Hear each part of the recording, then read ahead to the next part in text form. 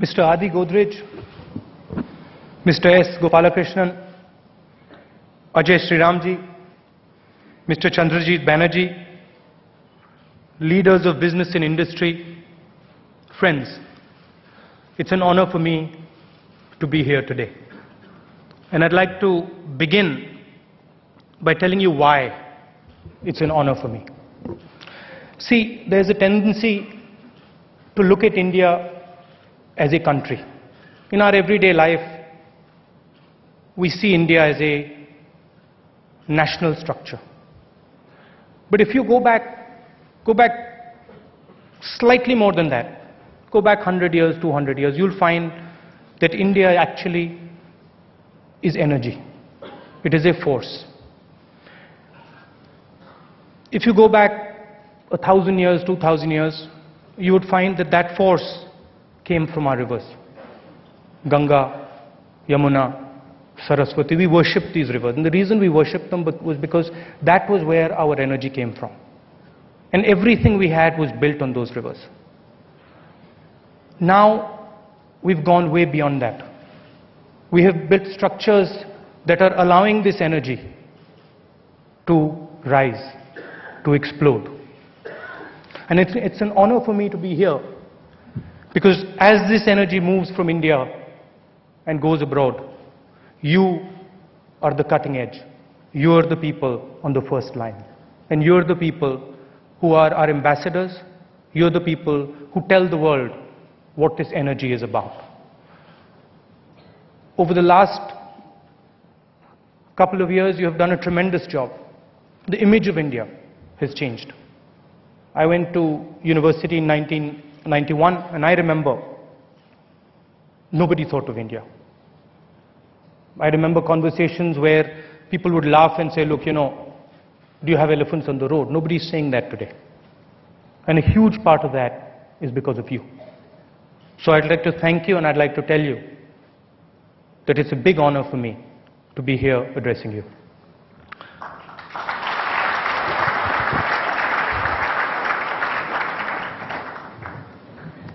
I think the, the way it's going to work is I'm going to give a little speech and then we're going to have questions, right? Okay, so. Can I this? It was a dark night some years ago when my team and I got on the Gorakhpur Lokmanya Tilak Express and traveled across India's heartland. We wanted to understand how young Indians were building their future. And I spent a large part of the 36 hour journey moving across the train and talking to travelers, youngsters, weary families, and migrants moving from the dust of Gorakhpur to the glitter of Mumbai. It took us 36 hours. It's called an express. Anyway, I remember a young boy from Purvanchal, Girish, who painted the outside of skyscrapers. There were two carpenters, one of them traveling from his village to Mumbai for the very first time. Imagine the feeling of a young fellow getting on the train, coming out of his village, going to Mumbai. Spoke to a young Muslim boy setting out to start his life. He had no idea what work he was going to do. I asked him, Boss, what happens if you reach Mumbai and there's nothing for you to do? If I reach Mumbai, there's nothing for me to do. I'll get in a train, I'll go to Bangalore. That's the spirit of this country. Forward moving, brave. What struck me about that train was the optimism. These were poor people, weak people, but not one of them was pessimistic. They were sitting there saying, "Ha, bhaiya, kaam ho jayega. Naukri mil jayegi." And they were all struggling. And this optimism for me is just like India. It's bursting with dreams and fearless ideas, brave ideas. And as it hurtled towards Mumbai, I sat there looking at this train and wondering how many of these dreams will actually be fulfilled. By the time we reached Mumbai, we had made friends with Girish the carpenter. And he told us, come and see where I live. And we thought, that's an interesting thing to do. We had come all the way from Gorakhpur and we thought, let's see what this little migrant, young migrant is doing. 4 o'clock in the morning, walk off into the gullies of Bombay, monsoon season, where feet are going into puddles, and then he opens the door. Little room, probably the size, you know, twice the table. Six people sleeping inside. They get up. All of them are migrants. All of them have done that little journey. All of them have that dream. We had a little chap, very smart fellow, entrepreneur like all of you, except he had the empty pockets. And he says, Come to the chaiwala. We go to the chaiwala, there's five, six of us, and he buys us all tea. And he insisted that, Nahi, main to kharidunga. That is the spirit of this country. Millions and millions and millions of youngsters struggling every day with optimism. And the story of his, the story of Girish exemplifies the idea of empowerment. It exemplifies the Indian worker, the Indian entrepreneur. And as we talk here, a billion people are breaking their shackles. They're coming out and they're claiming their place in the sun. India is home to the largest pool of human capital the world has ever known and probably will ever know.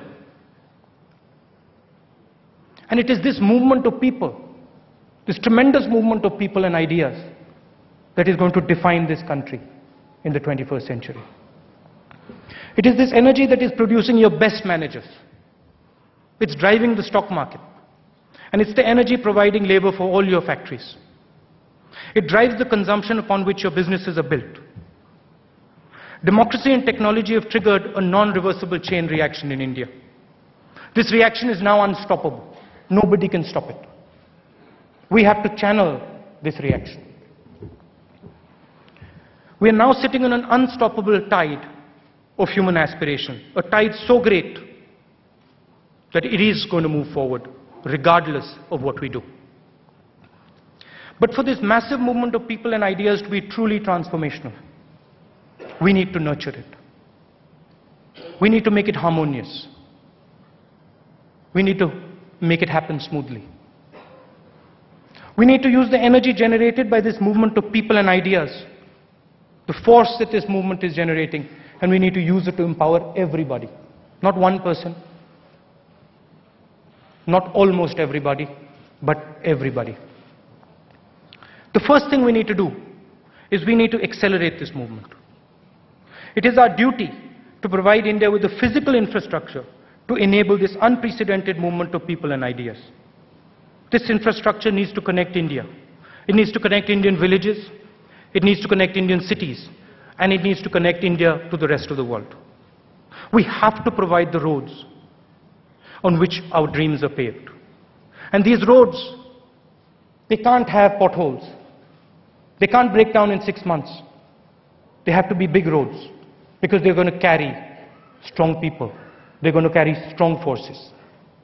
We have to provide the, we have to provide the ports from which our ideas will set sail. We have to provide the electricity for our children that will light up their future. Government cannot build this infrastructure alone.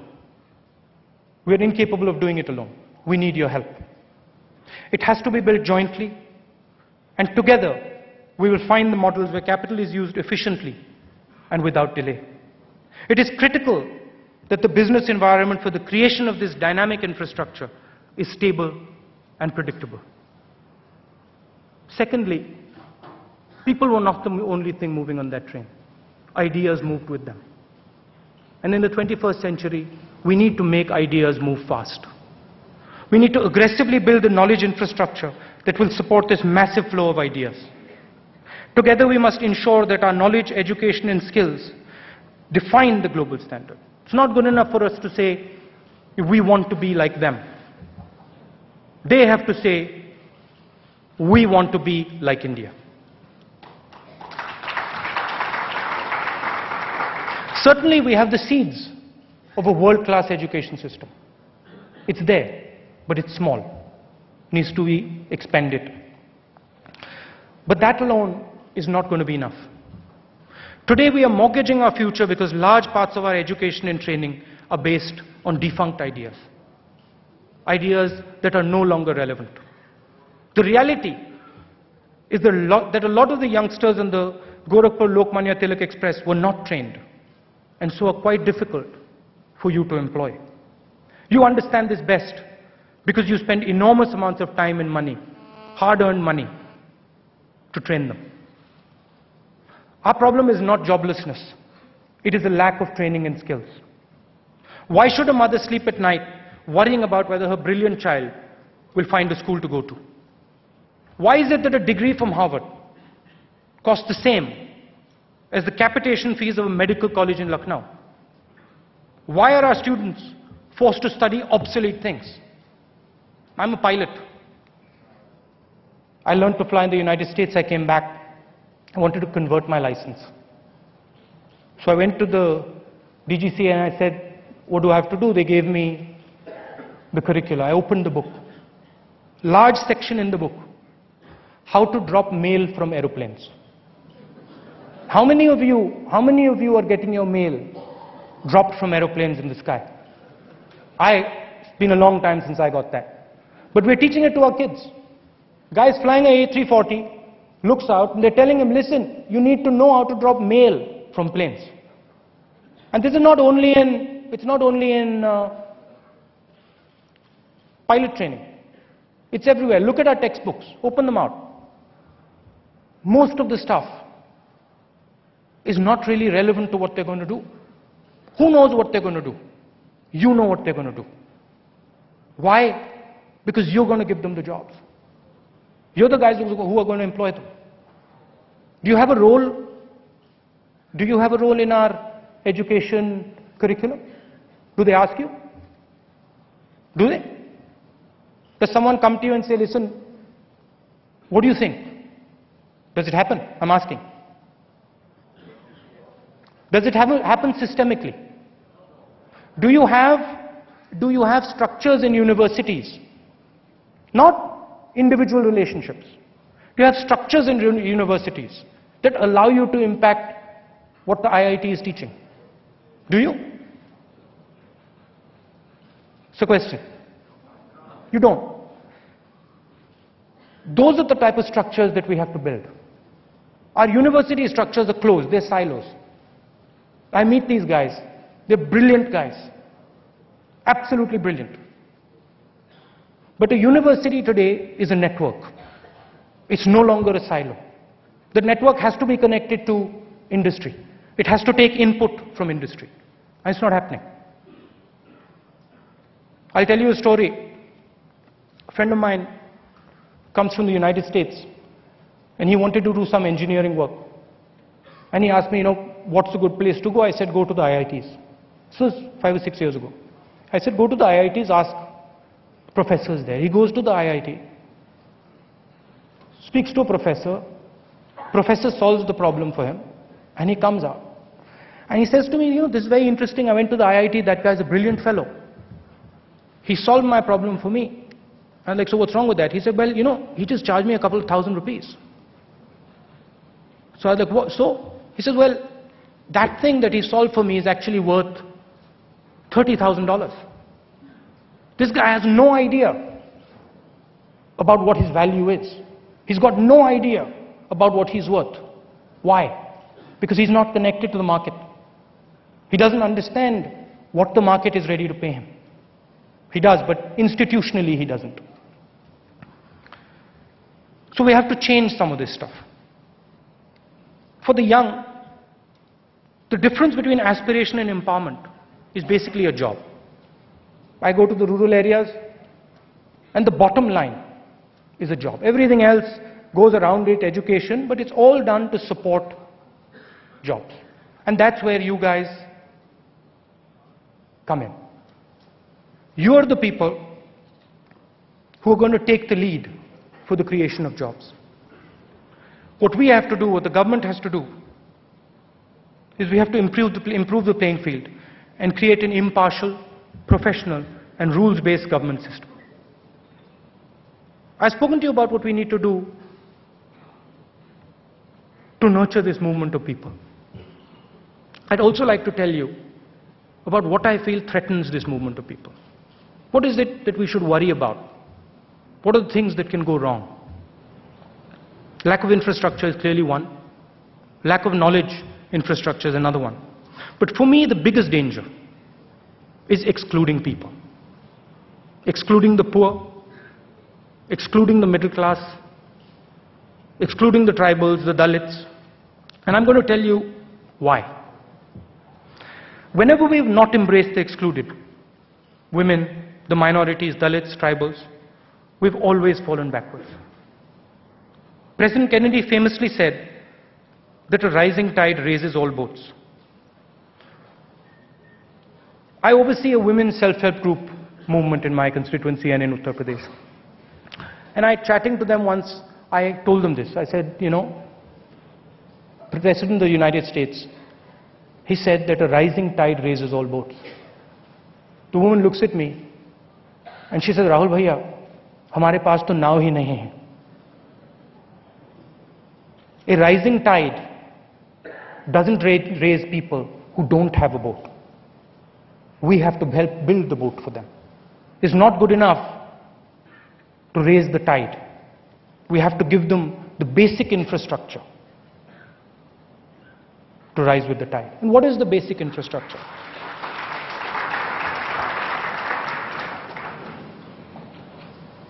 What is the basic infrastructure? The basic infrastructure as designed by the UPA is a rights-based paradigm. Give everybody the basic minimum on a number of key ideas. Give them a basic minimum on the job front. Give them a basic minimum on the education front. Give them a basic minimum on information, which is what Nandan is doing. That is what we are trying to do with the rights-based approach. The rights-based approach is important because it allows people to move. It builds this movement.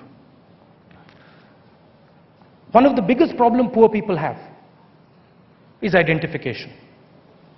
If you go to a village, the village knows each other. Everybody in the village knows each other.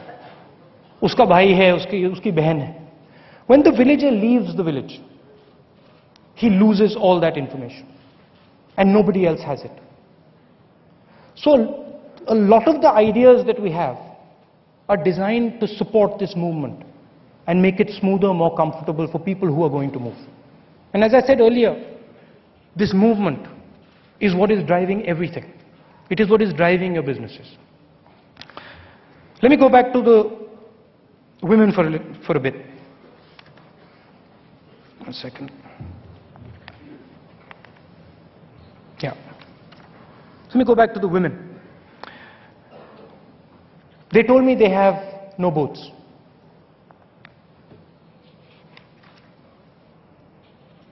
So I've lost it now, one second. Okay. They told me they have no boats, but the work our women do, the work millions of Indian women undertake every day, not poor ones, not rich ones, every single one of them. The work they do right now, as we're sitting here in this nice AC'd AC'd hall. They're building not only our boats, they are the waves. They are not only building boats, they are the waves. And I, for one, will not speak of growth without speaking of them. Our economic vision must be about more than money. It must be about compassion. We must envision a future for India that leaves no man and no woman outside in the shadows. Embracing the excluded is essential to the wealth of the nation. If we do not embrace them, we will all suffer. It's very simple. In a democracy, the poor have a veto. And we have to carry the poor and the weak with us. India will only move forward with inclusive growth that embraces everyone and is open and attainable to those inside this room and those very, very far outside. Now there is a strong connection between harmony and growth. I spoke about this energy, this movement, and there are two ways this movement can go. It can go harmoniously, or it can go disruptively. And the idea of the Congress party is that it should go harmoniously, everybody should move together happily. There's a strong connection between harmony and growth. India has grown faster under the UPA because we have greatly lowered tensions between communities, made growth more inclusive, and fostered an environment of tolerance and harmony. Anger, hatred, and prejudice do not contribute to growth. Do not underestimate the benefits of harmony. When you play the politics of alienating communities, you stop the flow of movement of people of ideas, people and ideas. And when that happens, we all suffer.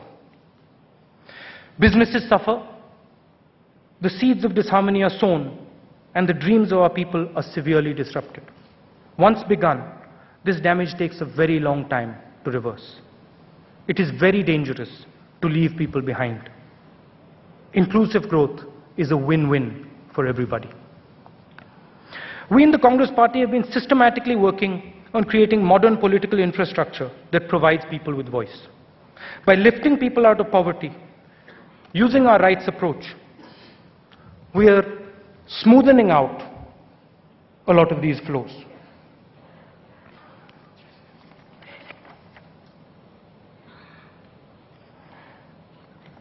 As we move forward to meet these challenges, we must remember that we have a tendency in India to think about solving all our problems incrementally. This is a mistake. There are some problems that require exponential solutions. Whenever India has done well, it has done so not by incremental steps, but by radically transforming its structures. Look at our successes, from the Green Revolution to the White Revolution to the IT and telecoms revolution. All those successes were the results of exponential thinking. We're a brave young country.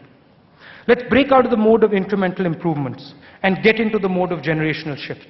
Let's stop wondering how many colleges we can build and let's start discussing what we can do so that the very idea of a college, so that the very idea of a university is transformed. This might sound idealistic to you, but I'm speaking very seriously from India's experience. Look, if we went about the telecoms revolution in the 80s by distributing telephones one by one and going slowly house by house, Sam Pitroda wouldn't be sitting here with us. He would be somewhere in Kalahandi distributing telephones. He wouldn't have that wonderful white hair. He'd be bald. I have no interest in going bald, even though it's looking pretty likely at this stage. So let's get in the business of smart interventions. Your voice and skill set has to go into policy in a systemic, systemic way. Sam Pitroda, Krishnamurthy, Sreedharan, Nandan Nilekani, they all combined their skills with government to empower people and transform India. What India is, what India is thirsting for now is a visionary partnership. A partnership that incentivizes you to provide economic gains for the poor and the millions of aspiring middle class.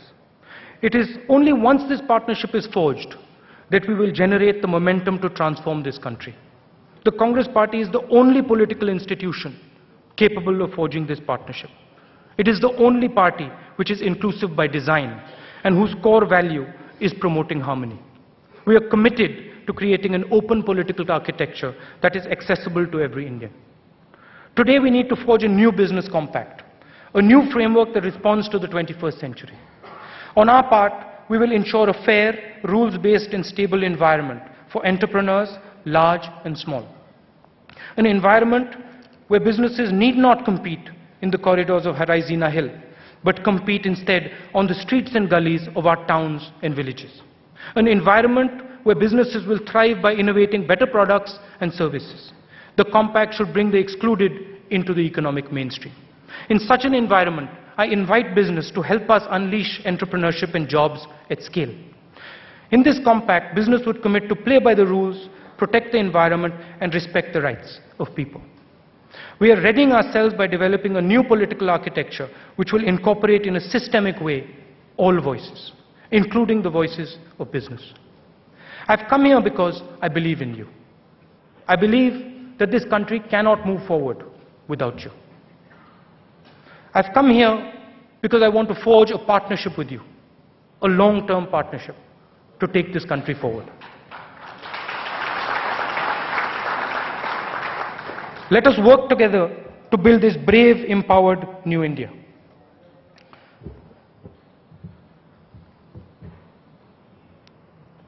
Adiji said in his speech that I am somebody who spends a lot of time with poor people. But I want to make one thing very, very clear. India cannot go forward without partnership, without working together. The poor are one commo- component of our country. Business is another component. The middle class is a third component. We have to work with all these components. It's not good enough to say, listen, the poor are important. It's not good enough to say business is important. It's not good enough to say middle class is important or the powerful are important. This country is only going to move forward if we stitch together a coalition where we are all working together. And you're critical to that. Absolutely critical. It cannot be done without you. So that is my message. Thank you for coming here and listening to me. If you have any questions, I'd happily answer them.